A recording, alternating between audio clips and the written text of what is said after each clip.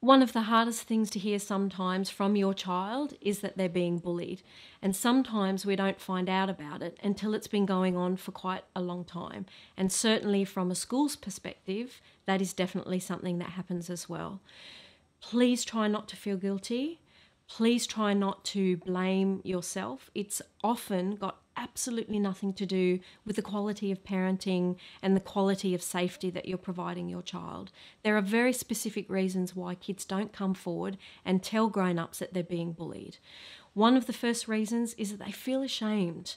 They feel the reason that they're being targeted is something that they own. Guilt and shame are two different things that we confuse a lot of the time. Guilt is often, I have done this thing, but shame and being ashamed is I am this thing. So often, when they've been repeatedly verbally bullied about being ugly or being dumb or stupid or any of those other things we know that they get told, they feel ashamed. The second one is that they're frightened of the repercussions, and part of that is because they don't feel safe. One of the things that I have explained before is that as a parent, it is important for you to remain calm instead of absolutely exploding when you find out your child has come to this kind of harm. If you have an over the top explosion, they are going to be frightened about the repercussions, and their sense of trust in how you're going to deal with it moving forward will actually, to be honest, be a bit shaky. The other thing that they're worried about especially in Australian culture, is our culture of we don't dob. We don't dob, we don't snitch, and actually that ends up with kids in the long term enabling really bad behaviours in their friends.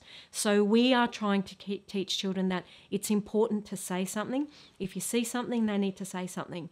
But you have to understand that they are very entrenched in a culture that is about not speaking up, especially if it's your mates. We do know that bullying behaviours are very interesting in that they're not often perpetrated by people they don't know. Often, one of the reasons that they don't speak up is because it's actually people who used to be their friends or people who they have some kind of a learning relationship with at school or in their dance class or at football or something like that. The other reason that they don't come forward in Australia in particular is because kids believe that bullying actually, and, and, and this is really sad, they believe it's a rite of passage. Some kids are so entrenched in bullying behaviours in their school environments and other places that they hang out in that they see bullying so often they don't even identify it as bullying anymore. And they also believe that, well, doesn't everyone get bullied? Isn't this something that I have to endure in order to be a grown up? So that's one of the other reasons.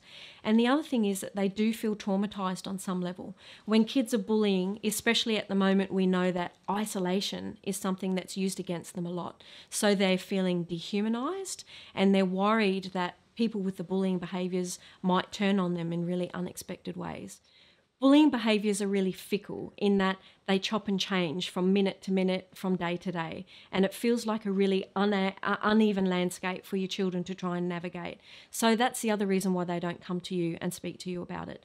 So please, the importance is for you to keep calm, for you to find out the reasons why they haven't come forward, and to stand by them and help them navigate the bits and pieces that you're going to have to get over over the next little bit of time to help them heal this hurt.